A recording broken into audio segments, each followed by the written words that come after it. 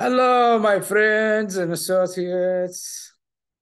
Um, okay, Dr. Mohamed Nezami here with you again. Uh, this is probably the last session that I will have on the concept of designing and modeling a waveguide to uh, planar transmission line transitions.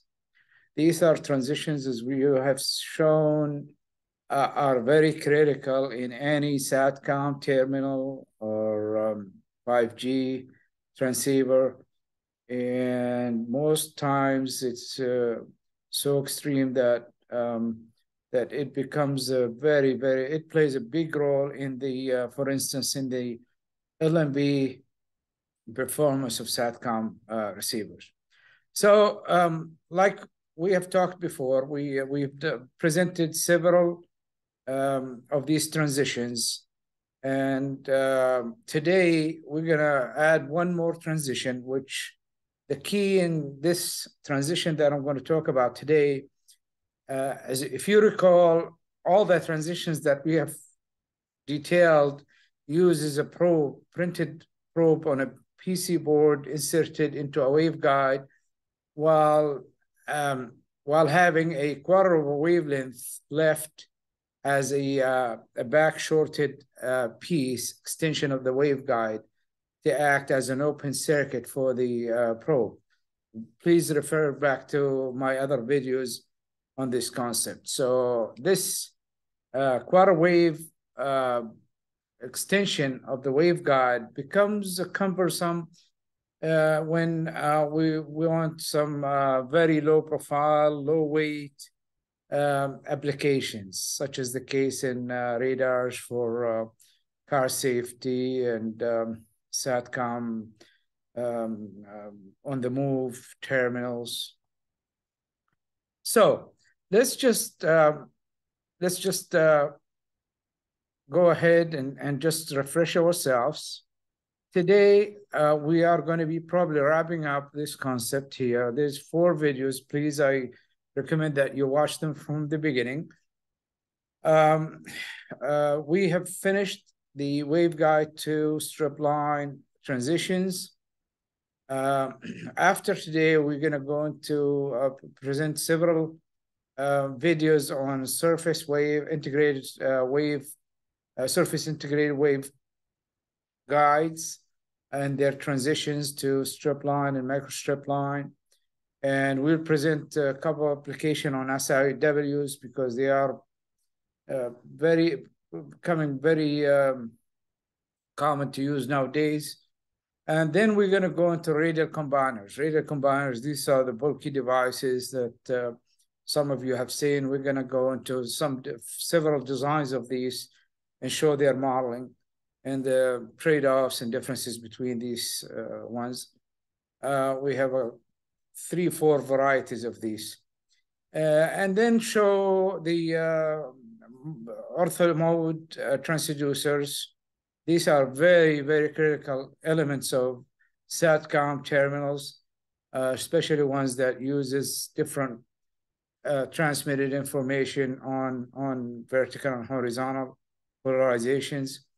We will show the design of those.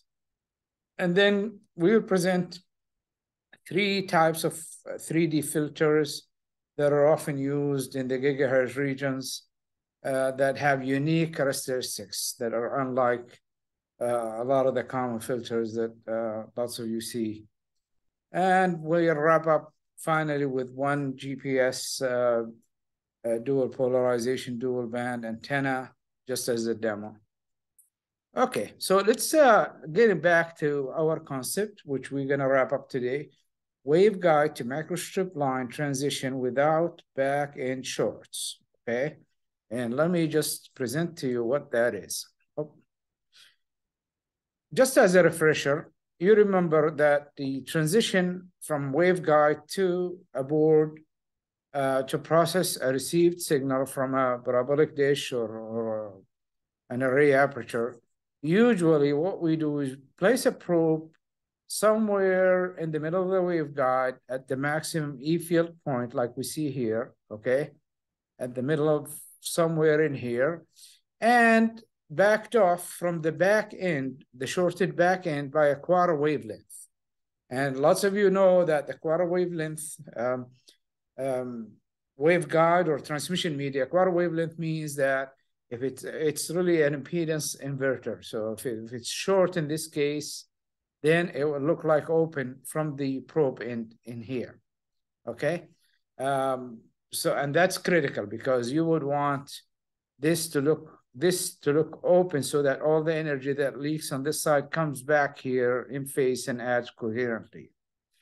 But as you can see, this is bulky, of course. Uh, for instance, let's look at this LNB, This KU band LNB. And what we see here, just um, let's elaborate on this little bit further. This is a little older generation LNB that uses DRO oscillators. These are dual band, as you can see here. Uh, the new, newer ones all use phase lock loops. Um, but um, nevertheless, um, what we have in here, here's a probe on a square waveguide, and the waveguide from the back feeding this, and we go into LNA, this LNA, another additional LNA, and then onto a uh, an interdigital filter, and then on to mixing with these LOs and going into an IF stage. And the IF stage, of course, you go out with um, an F connector in here. That's where the you you basically plug in your um, satellite receiver. Okay, or you take this down. This is an outdoor unit, of course, by the parabola dish. So uh, as you can see in here, when, when you look at the lid, I don't have a picture for the lid on this, but the lid should have a cover in here, okay, with a, with a mouse hole for the probe, but it should have a quarter of a wavelength, short and cap. So, and in this case, of course, this is a, a an application that you wouldn't worry about a few, a few a hundred of mils uh, uh, metal, but in a lot of cases where that becomes very uh, unlike uh, to use, and, and we want to get rid of this. We don't want to have uh, a quarter wavelength extension of the waveguide. So we are going to introduce a transition that does not use, utilize um, quarter wavelength back short. This is the transition uh, uh, with uh, with all the um, details of mechanical separation of the parts. But essentially, what we have here, we have a, a two-sided BC board, printed circuit board, BCB. On one side that looks into the waveguide aperture, we have a, just like we presented in the last video, in the previous video, we showed how we can use a probe in conjunction with a uh, a resonating uh, square or rectangular batch to create um, a, a, a microstrip line transition or a suspended line transition like we did last time. Uh, except there we have used an additional cap in here that is a quarter wavelength placed on top of the, the probe. In this case, we're not placing a metal cap that is extension of the waveguide. What we're doing, we're introducing a short represented by this metal here on the BC board. This is basically the top layer. And what we have in here, we have, this is all metal printed with a little notch where the microstrip line goes in. That's the probe that we're gonna, this is where you pick up your signal and go off to the rest of your um, receiver or a transmitter, uh, whichever case it is, happens to be that you're using this for either transmitter or receiver, okay? And we have an another metallic um, window in here. And these are common via vias, okay? We place vias that will connect the top to the bottom ground. And these will connect with screws, of course, uh, to the uh, waveguide um, aperture. And that will act actually as a quarter wave uh, length uh, a similar function to the quarter wavelength back end short, okay? And we'll show in a minute in simulations that that is really what's happening. Pictorially, you can look at this, whether you're transmitting or receiving, and you can see how the TE10 mode gets transformed into a quasi TEM on a on a strip line, on a microstrip line or strip line in this case. Okay. Now, just to show you the the design parameters for this um, transition, here's a, the design parameters for the um, for the parasitic uh, batch. And what we have, we have the width and the length of this batch, basically. Of course, we do have the the standard dimensions of the waveguide, you know, be it Ka band, Ku band, or whatever band you're operating in. Uh, so we do have the dimensions, the AB, typical AB dimensions, AB dimensions for the waveguide. But in addition to that, we have the batch dimensions, and then we have also the spacing between these uh, vias. That's the S here, the spacing between these vias, because we don't want any signal to leak. Depending on the frequency, you have to make sure that these vias are um, uh, are, are uh, uh, um, many of them that will block the signal to leak through and want all the signal to reflect back. And then we have the probe itself, the length and width, and then we have the notch, this notch in here, we have a gap, what we call a gap, which is here, okay? Now sideways, if you look at this uh, transition, basically, we have the waveguide in here, we have the square or rectangular batch in here, and then we have the probe that is here. Now the probe overlaps the patch by a parameter row, and that row plays a big role in the design. I will show you in a minute some publications where you can go back and basically design this uh, based on the formulas and equations that are in there. That you, you, you can either hand calculate them or put them in MATLAB and, and program them to come up with these parameters. Or somehow start somewhere with some dimensions that are published and scale back to the frequency that you're operating at using parametric assignment of, of, of dimensions and the ANSYS HFSS, and then steering these dimensions to the the uh, appropriate dimensions that that will will make it perform in the particular band that you're interested in. Pictorially, this is what the uh, what the um, transition look like. So we have the probe, we have a little inductive piece, just like last time I showed you. This is to cancel the capacitors in here. And then we have a quarter wavelength, okay, that matches the impedance looking into this uh, waveguide. And then we have the 50 ohm line, which is in this case this. And this happens to be a back-to-back -back transition that we usually, that's the first thing we do. We need to characterize the transition. So we do, we design one and then we flip it over and then do the measurements and divide by two everything uh, in terms of insertion loss, I mean. Okay. So um, now the, the this particular transition happens to be also attractive for users you to use with the phase array antennas um, and um, this shows one where you can actually replicate the probe and and and design a transition from waveguide to strip to microstrip line and a splitter. So you split the signal or combine. Either way, whether you if you're transmitting, you're combining. This is a two-way combiner and a transition. If you're receiving, this is a two, a two uh, this is a two-way uh, splitter and a transition. Likewise, you can do four also, and this becomes um, interesting. Uh, interesting for cases where um, you would want to use it with arrays, as I will show in a minute. So let's go into um, some of these publications that support this transition. There's several of them online. I just happened to pick up a few. This is 2019.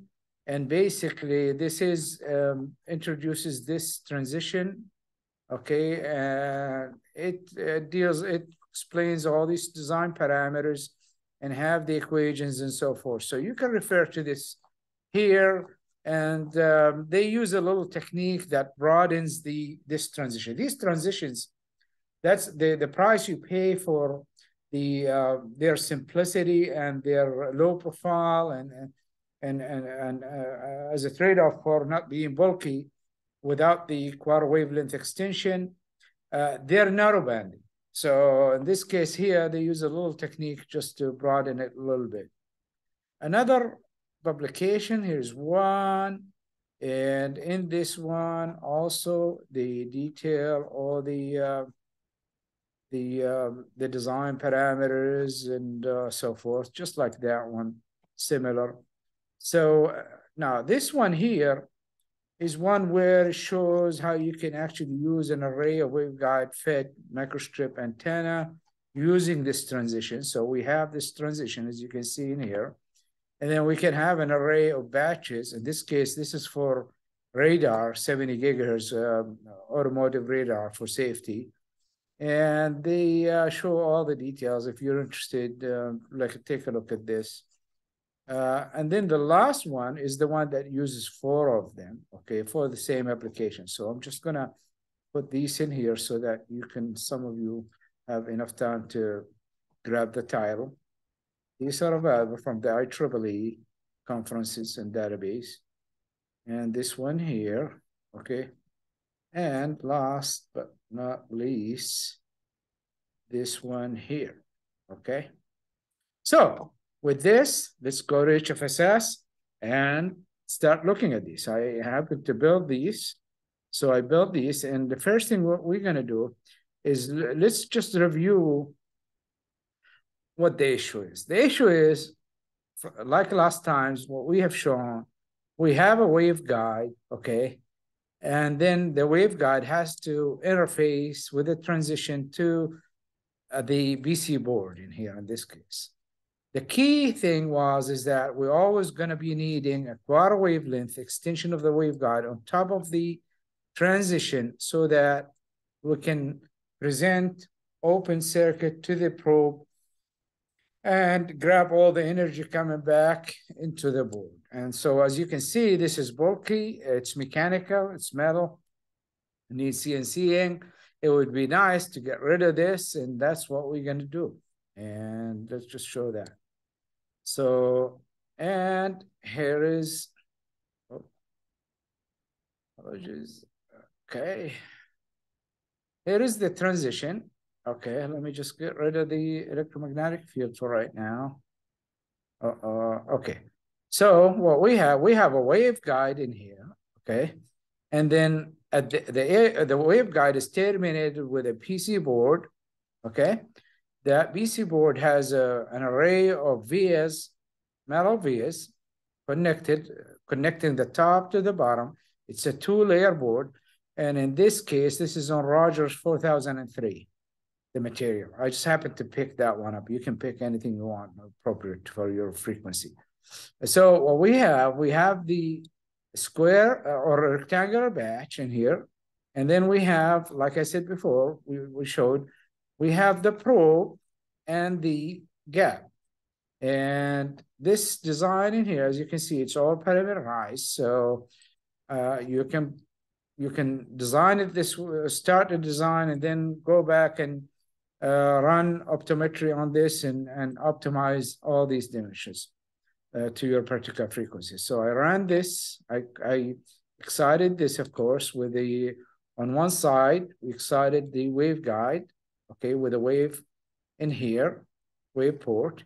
And then I excited the, um, the, the transmission line or the probe with a wave port that is this way, okay? where the, uh, of course, we don't have an extension of metal. What you're seeing in here, let me just show what you see in here, that's actually a vacuum, okay? I just have, I just wanted to create a, a vacuum, a media for this so that I can attach this port to it. So we don't have metal here, as you can see. Metal stops at the board, at the board terminates. So let's look at the frequency response of this. And here is the frequency responses. You can see now this one really, I mean, from a, a system point of view, you would want this system to, it's really relatively narrow. So you can see that it's only from 28 to 30 gigahertz. And it's not really optimized right now. We, we, we have the loss a little bit the loss should come down to 0.5 dB uh, throughout the band. So this needs still needs to be optimized. Let's look at the E field and see how the E field is. Um, and like we did before, the E field comes in, the wave comes in here, and then propagates, uh, hits the um, the rectangular patch in there, and that then transforms the electromagnetic field to the uh, probe in here. And let's uh, animate this. You just grab this over here. Let's just look at it from a, let's accelerate it a little bit so we can see. Okay, so you can see that it's going into the, how it's, how the signal is hitting the square batch. And then the square batch, of course, radiating onto the, uh, the probe, okay? So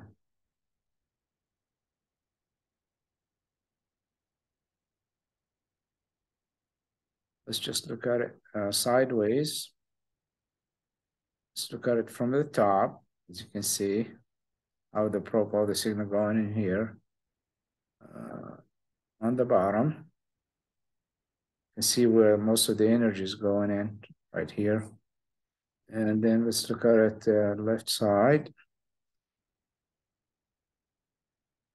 And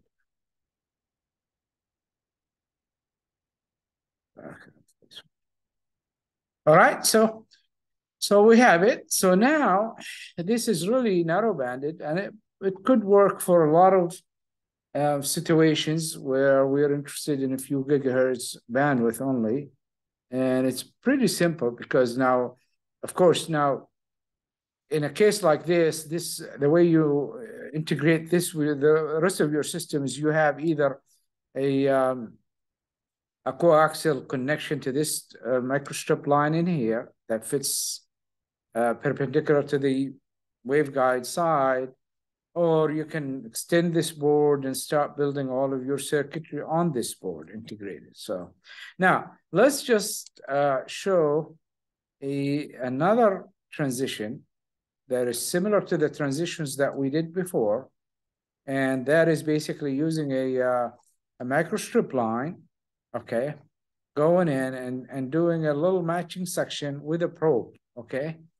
And so this one is just to show you that these by far are still the most superior uh, ones to use. And of course, now this distance in here, let me just show you the, uh, okay, so sideways. Now the distance from the probe, the middle of the probe to here, this is a quarter wavelength, of course. This is one of the probes that are um, a class of probes that are um, that, that are not as low profile as the one we just showed. And the advantage of this, of course, when you look at the performance, if you design it correctly and you optimize it, it becomes uh, very nicely done. Like this one shows from 24 gigahertz to 40 gigahertz with return loss of less than 10 dB. Okay, so you can see um, now how this behaves. Now with the EM uh, basically on there, you can see that this one, let me see, this one is at what frequency? So this is, this is at 45 gigahertz, okay? And so you can, we can animate.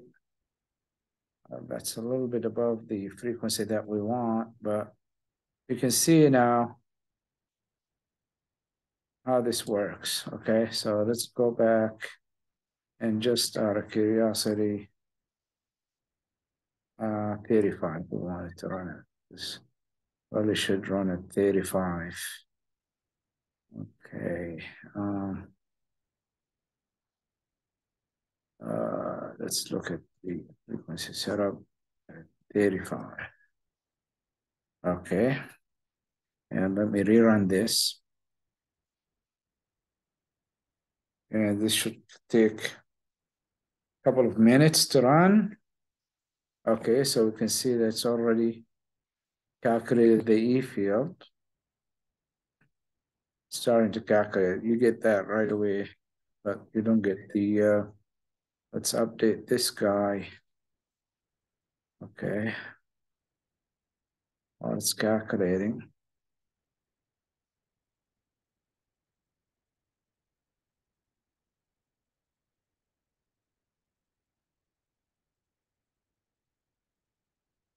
Okay.